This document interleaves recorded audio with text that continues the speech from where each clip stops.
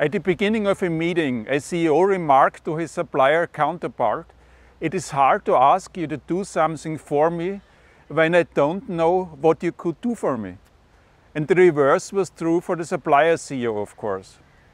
Being frank and clear about what you want in conversations with supplier CEOs will build trust and trigger an equally honest response. What investment would be required? What competences would need to be honed? What changes would need to be introduced to your practices? Have you ever thought about a certain technology? What kind of commitment would you be willing to make? How could you jointly make a difference in the industry? In this video, I will show you how to explore the unknown unknowns between your company and your suppliers. And toward the end of this video, I will show you how Apple is applying this principle for MacBooks and other product lines. Let's get started. Once you and the CEOs of your key suppliers have clearly articulated what each of you want, things can progress at a much faster pace with far more ambitious objectives. A meeting of minds can deliver spectacular results. Double savings, double quality, double speed, double innovation, half the risk, double strategic impact, year over year for the next three to five years. And all of this agreed upfront. Account management people and procurement people are still needed to work out the details, of course, but the effect is already there and their work focuses on formalizing it and making it sustainable. Obviously, you cannot have this type of conversation with each of your thousands of suppliers. But focusing on the big, the interesting and the promising suppliers should make this job manageable. And your suppliers are facing a similar challenge. They are separated from strategic business decisions by several layers of hierarchy and function. In particular, the situation of suppliers is made complex by a well-rehearsed dance between your procurement people and their account management people. Account management people with tactical KPIs, mostly revenue and price, are talking to procurement people with tactical KPIs, mostly cost reduction and continuity of supply. The dance keeps repeating itself on a quarterly or annual basis. Procurement people need to demonstrate effectiveness by delivering savings. Account management people need to protect their profit margins. Procurement people conduct increasingly sophisticated analysis to prove that prices should be lower. Account management people cite external forces like increased labor cost and raw material shortages that drive up prices. In order to make their point, procurement people shift some shares to other suppliers. Account management people respond by developing additional customers disrupting this negative equilibrium between account management people and procurement people will require you to overcome the transactional zero-sum mindset in procurement. You can advance this by better understanding how your suppliers and the suppliers of your suppliers create value for you. Based on this understanding, you can intervene when it makes sense if your suppliers have shortcomings in manufacturing, you send in your manufacturing people for help. If your suppliers have opportunities in working with sub-tier suppliers, you send in your procurement people. With this understanding, you can help suppliers to improve their operations.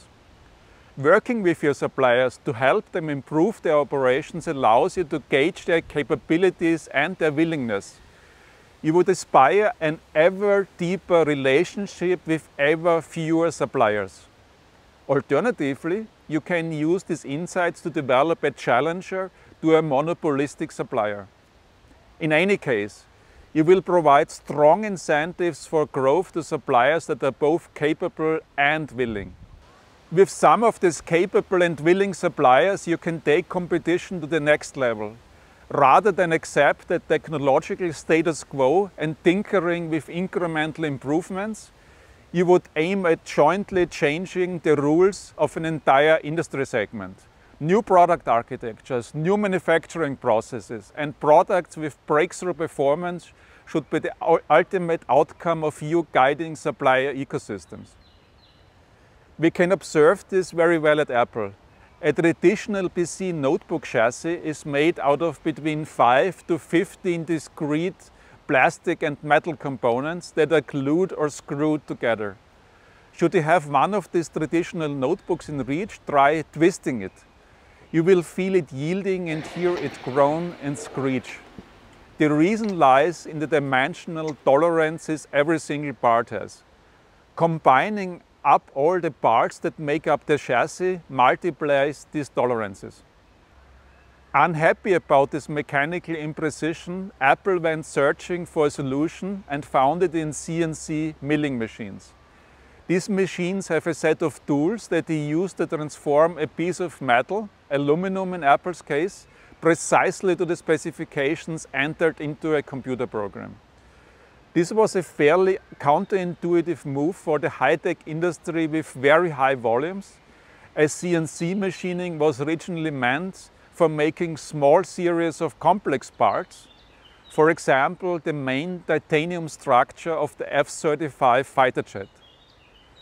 By chiseling away from a solid block in a similar manner as a sculpture does his art, CNC machines are expensive and slow, but do not require part-specific tools. Notebook chassis are made in the millions.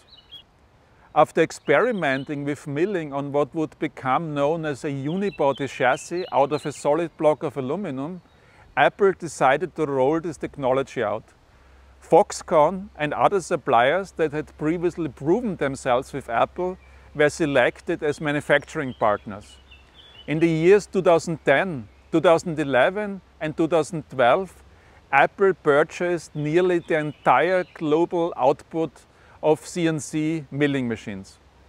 It is highly unlikely that without Apple's guidance, its suppliers would have ever come up with CNC machining as a feasible way of making a chassis. The entire industry was geared toward making plastic parts with specific injection molding or die casting tools.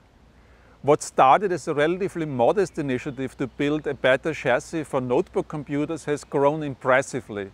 Today, nearly all of Apple's desktop, laptop, smartphone, tablet and smartwatch models feature unibodies that are made by CNC machines.